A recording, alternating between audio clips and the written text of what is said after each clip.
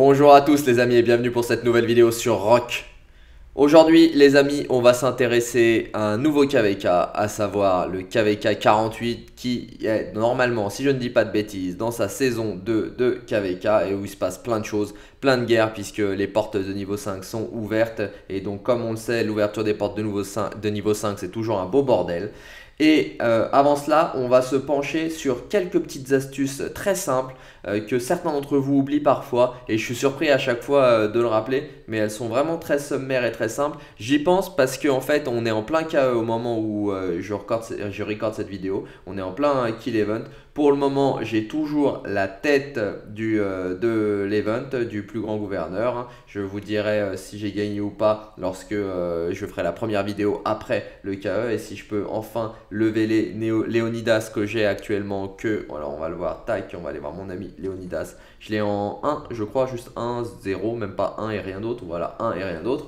Donc j'espère gagner et pouvoir le monter euh, déjà à 5 sur sa première compétence et euh, à 5 je crois sur la deuxième, 5-3 ou 5-5 quand on a 180 têtes, je crois que c'est 5-3. Bref, en tout cas euh, j'espère pouvoir le monter suite à ça. Pour le moment j'ai pas encore produit mon effort sur le kill event, hein. enfin pour le moment au moment où je record cette vidéo bien évidemment, on le voit, j'ai fait que 11 millions de points mais je tiens la tête donc j'ai pas envie d'user plus de ressources que nécessaire et tant que, comme je vous l'avais dit, tant que je resterai en tête c'est ce que je ferai. Mais au niveau des tips que j'utilise, enfin des tips, euh, des, petites facilités que j'utilise. N'oubliez pas, donc là c'est un rappel, hein, n'oubliez pas toujours l'hôpital. Il faut, si vous avez 30, alors il faut bien prendre en considération ça. Si vous avez bien votre euh, centre d'aide euh, au dernier niveau, donc vous avez bien le accès à 30 aides, comme, comme moi j'ai accès, vous voyez les aides on peut aller jusqu'à 30. Soignez toujours maximum en dessous d'une heure 40. Vous le voyez, ça représente 2000 unités euh, chez moi. Ça dépend aussi euh, de votre niveau de VIP et de vos technologies euh, d'alliance. Pour moi, tant que je suis autour des 2000 unités sans rune, si vous prenez une rune, vous pouvez monter jusqu'à 2500 si vous avez tout à fond comme moi. sauf si vous êtes un niveau supérieur en VIP, vous pouvez monter encore plus. Donc n'oubliez pas, soignez toujours par paquet euh, 2, alors c'est pas le nombre qui compte, c'est le temps, 1h30, 1h35 pour 30 aides à peu près. Ce qui fait que normalement les heals sont instantanés. Si, dès que vous avez 30 aides, c'est fini. Ça vous permet de gagner énormément de boost et d'accélérateur. Vous imaginez, là, si j'avais dû soigner 17 heures, je les soigne pas 17 heures, je fais des paquets de 2000 et c'est réglé, j'ai pas de souci par rapport à ça. Donc vraiment, c'est très important de soigner toujours par petits paquets comme ça. Très important parce que le KE, c'est long, euh, on est né euh, que ça dure deux jours, nous on en est qu'au début au moment du record et donc euh, il faut pouvoir healer sans claquer tout, tous, ces, tous, ces soins, tous ces boosts de soins parce que j'en aurai besoin lorsque le KVK va arriver. Donc mon objectif, c'est d'en accumuler un maximum pour le KVK puisque j'ai la chance d'avoir suffisamment de troupes pour pas en claquer euh, dans la Ligue Osiris ou dans les matchs du tombeau. Donc pour le moment, tout va bien, mais faites bien des petits paquets comme ça, donc comme ça vous ferez beaucoup d'économies. L'autre euh, astuce que j'utilise bien évidemment, c'est celle euh, de, de, la marchande. La marchande, je la fais pop à chaque fois, donc vous voyez la marchande si vous avez oublié, pour forcer son pop, euh, pourquoi euh, je la fais venir? Parce que j'achète des accélérateurs justement euh, chez elle. Et vous voyez, j'achète principalement les accélérateurs qui ne coûtent pas de gemmes ou qui sont à partir de 60% de remise. et que c'est des accélérateurs soit training, soit générique, puisque tout le reste j'ai fini. Donc euh, la marchande pour forcer son rip-hop. N'oubliez pas, si vous êtes connecté à minuit UTC ou à 1h UTC, la marchande apparaît toujours. Donc si vous ne l'avez jamais été, sachez que vous pouvez l'avoir dès ce moment-là. Ensuite, vous pouvez forcer son rip-hop en accélérant des constructions puisque dès le moment où vous allez avoir deux, moi pour moi c'est deux trainings. Donc dès que j'ai deux camps qui se finissent, deux, troupes deux fois 2000 qui se finissent, la marchande pop, ou quand j'ai deux fois 2000 et une recherche ou une construction, la marchande pop. Donc vous pouvez forcer son repop comme ça en accélérant vos constructions si vous avez besoin qu'elle soit là. Par exemple, lors de l'event où euh, la marchande, euh, elle casse les prix, elle diminue par, je ne me rappelle plus euh, du nom euh, de cet event où la marchande fait des taux de remise, plus on achète, plus elle fait des remises, et eh ben il est bon à chaque fois, je vous avais fait une vidéo sur le sujet d'ailleurs, si vous l'avez raté n'hésitez pas à aller la voir, je vous mets le lien en haut en suggestion de cette vidéo, et surtout si ce n'est pas encore fait, n'hésitez pas à vous abonner à la chaîne en cliquant sur la cloche pour être informé de toutes nouvelles vidéos, on se dirige tranquillement vers les 3000 abonnés, je vous en remercie, et surtout surtout surtout n'hésitez pas à lâcher un gros pouce bleu, vous le savez à présent, ça aide beaucoup le développement de la chaîne. Donc poursuivons à présent avec, euh, maintenant que ces deux petits tips que j'utilise tout le temps euh, sont, passés, allons voir le KVK numéro 48. Donc on va y aller à la traditionnelle, hop là dézoom s'il te plaît, Hop, on est parti. Vous avez vu euh, le chat, euh, malgré euh, les patchs hein, et le dernier patch en urgence qu'ils nous ont fait, il bug toujours. Hein. En tout cas, chez nous, ça bug toujours. C'est toujours le bordel. Je crois qu'ils ne s'en sortiront jamais, ce chat. Alors qu'ils enfin, ils achètent un module de chat à une société qui fait que ça, dont c'est le métier. Et ça serait réglé, mais non, ils veulent le faire eux-mêmes. Et c'est le bordel. Donc, allons voir ce KVK numéro 48. Alors sur ce KVK numéro 48, on le voit, on a toujours des serveurs qui sont euh, en dessous du 1400, sauf 1404 et 1407. Donc on a plusieurs royaumes, la plupart sont comme d'habitude entre le 1360 et le 1400. Donc du coup, on va aller voir ce qu'il s'y passe. Apparemment, d'après les infos que j'ai, c'est une grosse grosse guerre et un gros bordel. Donc comme d'habitude, on va commencer en bas à droite. Hop là, on est sur l'ancien système hein, de KVK, hein, je vous le rappelle, je vous ai fait une vidéo sur le nouveau Light and Darkness avec les premiers royaumes qui eux sont sur ce nouveau mode de KVK. Mais en tout cas là on est sur l'ancien KVK et apparemment les premiers retours que j'en ai des alliances qui sont sur ce nouveau système de KVK, certains sont un peu déçus et préféraient l'ancien système. Donc on verra quand nous on y sera, mais en tout cas les premiers retours sont assez mitigés faut les laisser aussi avancer euh, dans, les events, voir si au final c'est pas mieux, s'il n'y a pas plus de guerre, etc. Bref, commençons par ce premier royaume. Donc on le commence, on le voit bien, là forcément on est sur le royaume 407, puisqu'il y a les alliances qui ont ce nom-là. Alors, quelle grosse alliance Quelles sont les situations ici? C'est des royaumes qu'on ne connaît pas encore une fois, parce que c'est des royaumes jeunes. Donc, allons voir ce qu'il y a comme force en puissance. Alors déjà, quelle est l'alliance la plus puissante? Donc ça, c'est une sub. Qu'est-ce qu'ils ont comme très grosse alliance? On le voit déjà, ils sont pas mal enfermés, eux. Ils ont l'air vraiment de se faire séquestrer. Hein. Regardez, ils sont. Euh, oh là là, je sais pas quelle est leur puissance, mais en tout cas, ils ont l'air vraiment, vraiment, vraiment mal au point. Donc, voyons quelle est leur plus grosse alliance. Donc, ils ont déjà celle-là, une alliance à 3 milliards 3. Donc là, c'est aussi une sub parce que c'est beaucoup trop petit. Sinon, ils vont se faire latter. Une alliance à 1 milliard. Là, c'est sûr qu'ils sont en train de se faire manger s'ils n'ont pas mieux. Qu'est-ce qu'on a d'autre comme alliance? C'est les 407W qui ont cette, euh, la forteresse. Donc on va pouvoir voir les 407W. Qu'est-ce que eux ont? 4 milliards 5. Donc pour l'instant, il n'y a que des petites alliances. Hein. Si j'ai peut-être raté la grosse, mais en tout cas, on voit, on va lâcher les 407, on va aller voir eux. 92 millions, donc non, c'est euh, une 92 000, pardon, c'est une petite alliance. 155 4 milliards, j'en vois pas de grosses. Donc si c'est bien le cas et qu'ils ont que des alliances à 4 milliards, c'est normal qu'ils se fassent clairement séquestrer dans leur zone et qu'ils n'arrivent pas à sortir. Les W, j'ai déjà été les voir, hein, si je dis pas de bêtises. Les W sont à 4 milliards aussi. Ouais, donc là, on est vraiment sur, euh, un, royaume qui est en dessous des deux autres KVK qu'on avait visités. Hein. Rappelez-vous, le KVK 46 euh, et 47, on avait des alliances à 7, 8, 9 milliards. On était quand même sur quelque chose de beaucoup plus puissant. Donc là, rien d'étonnant à ce que ce royaume-là, malheureusement pour lui, se fasse un petit peu enfermer et victimisé, je dirais, par euh, les royaumes autour. On le voit, il est totalement enfermé. L'arbre, il est sorti un tout petit peu sur les côtés, mais il devait avoir la zone, je pense, et il s'est fait repousser. Ça doit être ça, j'imagine, ces drapeaux-là, si on va les voir. Donc si on les regarde, ils sont à qui Ils sont au 407K évidemment. Donc ouais, ils étaient sortis, mais d'ailleurs c'est étonnant qu'ils soient sortis. Hein. Donc ils étaient sortis, mais ils se sont bien fait bâcher et repousser à présent. Donc ils ont l'air d'avoir du monde face à eux. Donc les bleus doivent être tout seuls, je pense. Hein. Parce que là, ils se font bien avoir. Hein. Est-ce qu'ils avaient les verts avec eux? Est-ce qu'il y a une zone de combat ici? Il n'y a pas de l'air d'avoir de zone de combat ici. Est-ce qu'il y a une zone de combat avec les roses? Est-ce que ça, ça brûle rose, euh, rose? Non, ça ne brûle pas. Donc, forcément, les bleus sont tout seuls. Forcément. Ah, quoique, il n'y a pas de zone euh, de... Ça brûle pas ici. Hein. Donc, c'est assez étonnant, là, cette... Euh, si vous êtes sur ce KVK, dites-nous ce qu'il en est, parce que ça a l'air d'être assez le bordel, là. Parce que, regardez, il y a des zones de contact sans combat sur ce côté-là. Le rouge est peut-être allié au rose peut-être ça. Le rose, le rouge, le rose et le bleu sont ensemble et le rouge aussi. Donc euh, on va le voir. Si ça ne brûle pas du tout là, c'est qu'ils sont ensemble. y a pas, ça brûle pas et on est à fond en termes de points, donc ça ça serait pas étonnant. Donc là, ça laisse, on va voir après quand on va évoluer, évoluer dans le KVK, voir ce qu'il y a ailleurs. Mais on pourrait penser là que le bleu, le rouge et le rose sont ensemble, le vert, le jaune, le mauve et le orange sont ensemble.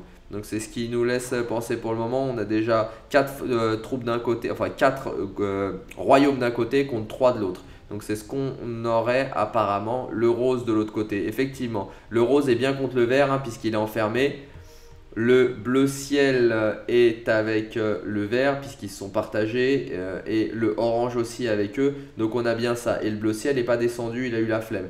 Donc on serait bien là-dessus sur cette configuration là. On est à 5 contre 3. On a le bleu foncé, le bleu clair, le jaune, le orange et le mauve. Face, non pardon, le jaune, le rouge, le orange, le mauve et le bleu clair face au bleu foncé, au rouge et au rose. Donc là, ils étaient bien placés là. Donc à mon avis, ils avaient dû prendre toute cette zone-là en séquestrant le jaune. Mais là, avec l'ouverture des portes de niveau 5, classiquement, les alliés sont venus les aider et ils se sont fait détruire sur la zone. Pourtant, alors est-ce qu'on va voir Est-ce qu'on est que sur des royaumes qui sont tombés d'un niveau donc à présent inférieur aux royaumes plus anciens C'est-à-dire, donc là, on va, on va essayer de voir les alliances les plus puissantes euh, de ce royaume-là, à combien elles sont. Parce que pour l'instant, le, royaume bleu foncé était un royaume avec des, alliances inférieures à 5 milliards. Est-ce qu'on a des alliances supérieures à 5 milliards chez le rose? Parce qu'il est sûr que s'ils n'en ont pas, euh, en face, forcément, ils vont en avoir. Hein, parce qu'il reste des belles alliances quand même. On l'a bien vu pendant, euh, pendant la Ligue Osiris, lorsqu'on a fait le tour des poules. On a vu qu'il y avait des alliances de dingue quand même. Donc non, on est sur des petites alliances. Hein. Je,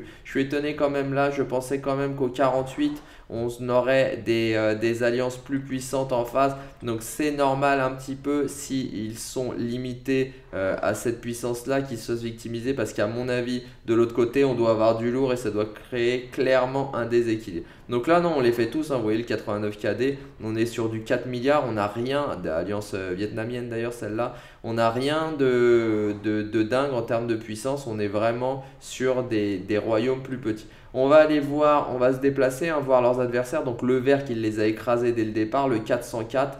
Alors le 404, lui, il a combien en termes de puissance? Parce que si le 404, il a une grosse alliance, ouais déjà, vous voyez, si on arrive 6 milliards 2, donc là, tout de suite, c'est normal que le vert, euh, ben, il, les, détruit hein, de l'autre côté, hein, c'est sûr. Non, j'ai pas besoin d'indiquer cette... Euh, d'indiquer le lieu. Donc hop là, on va aller voir le 404T. Qu'est-ce qu'il a? 3 milliards 100 Ouais, non, on est sur là, on est, on est un tout petit peu plus bas. Ils en ont qu'une à, plus de 6 milliards. Ils en ont qu'une à plus de 6 milliards. Ils en ont une autre à 3 milliards. Je remarque que les Asiatiques aiment bien la tête de canard, je sais pas pourquoi. Mais, euh, mais en tout cas, déjà, ils sont déjà nettement plus puissants avec leur alliance principale. Donc, aucune surprise sur le fait qu'ils aient euh, totalement détruit la zone. ils ont une grosse alliance à 6 milliards 2. Donc euh, pas de surprise pour eux, ils vont dominer la zone. Est-ce que... Non, là celle-là est trop petite.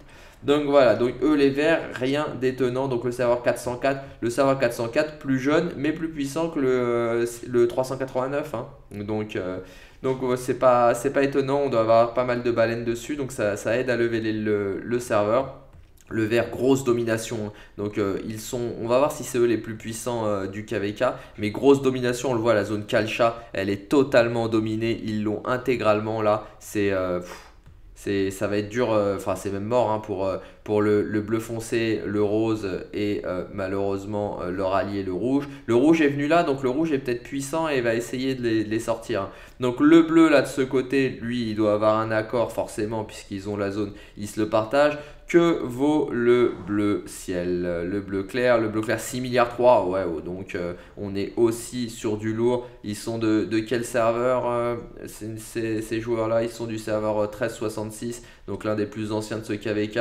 Donc là, on est tout de suite sur des grosses alliances sans être les alliances les plus puissantes, 2 milliards et demi. Est-ce qu'ils ont une deuxième grosse alliance puisqu'ils sont quand même plus anciens Eux, ils pourraient 2 milliards 5. Non, ils ont une seule alliance balèze, c'est déjà pas mal. Hein et euh, une alliance à plus de 6 milliards, c'est même énorme vu, euh, vu l'ancienneté euh, du serveur. Je ne sais pas s'ils ont eu des migrations ou s'ils sont tous de ce serveur-là, mais en tout cas c'est balèze, une autre 3,5. Donc le bleu clair et le vert sont à peu près équivalents en termes de puissance. Le bleu clair a quasiment tout d'Imbocro pour lui, il est tranquille. De l'autre côté, leur alliance avec le orange, le orange qui est le serveur 1395. Alors que vaut le 1395 Est-ce que parce que pour le moment c'est sûr que là On a vu deux alliances à plus de 6 milliards. C'est sûr qu'elles vont écraser les autres qui n'ont aucune alliance à plus de 4 milliards. Hein. Donc euh, là, on est sur 110 000. Donc vraiment, on est sur, euh, sur deux serveurs qui pour le moment sont nettement supérieurs en termes de puissance, ont des alliances supérieures en termes de puissance aux autres. Là, vous voyez, on est un cran en dessous aussi avec le orange. Alors peut-être que leur, euh, alliance principale est, ailleurs,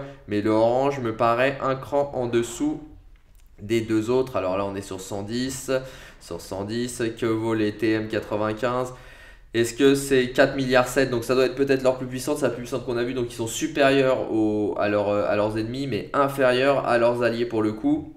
Et pour. Ah, ouais, le rouge est bien, est bien enfermé. Là, j'allais dire regardez le rouge, mais non. Le rouge est bien enfermé là, malheureusement. Et, et, et, et il n'a pas l'air d'être sorti du tout. Donc, le rouge ne doit pas être, malheureusement pour lui, plus puissant. Qu'est-ce qu'il a comme puissance, le, le, rouge, qui est forcément le 1399 Qu'a-t-il à présenter? Là, ça, c'est une sub.